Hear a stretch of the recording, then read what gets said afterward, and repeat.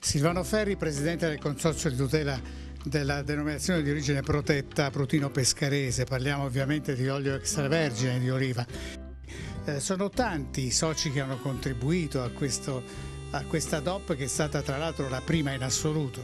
Sì, sono tanti e ogni produttore, ogni frantoiano è portatore di una storia, di una tradizione eh, nella continuità di un comparto olivicolo straordinario.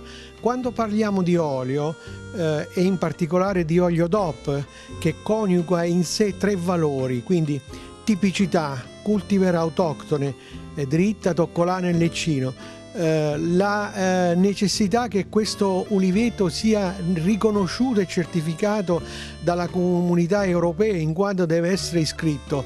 E poi c'è un organismo di controllo che certifica che quell'olio eh, extravergine possa diventare DOP e quindi essere diciamo, immesso sul mercato con il bollino del consorzio di tutela.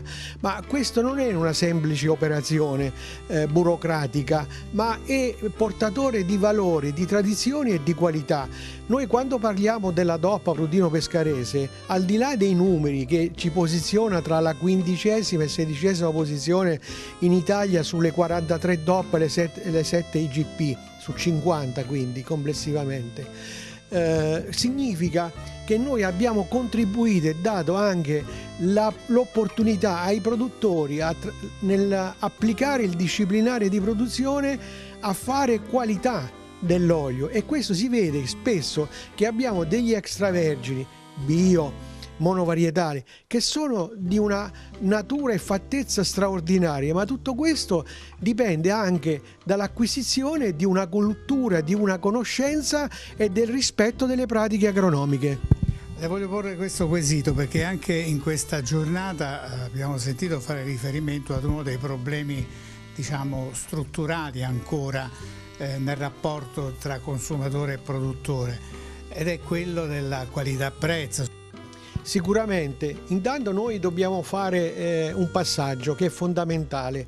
La qualità dell'olio DOP extravergine bio e monovarietale eh, non può essere soltanto inteso come eh, un parametro chimico-fisico o legato alla degustazione.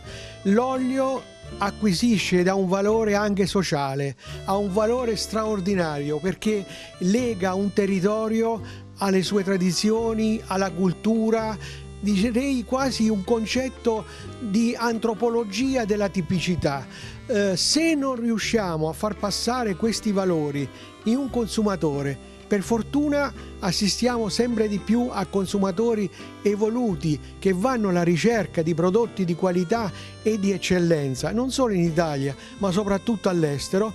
Se eh, riusciamo a far capire che una bottiglia di olio deve essere venduto e non è un modo di ricattare il consumatore, ma necessita di essere venduto a 12, 13, 15 euro una DOP, 10 euro minimo un extravergine e perché ci sono costi di produzione, necessità di assicurare una qualità e un'identità tipica di un olio al consumatore.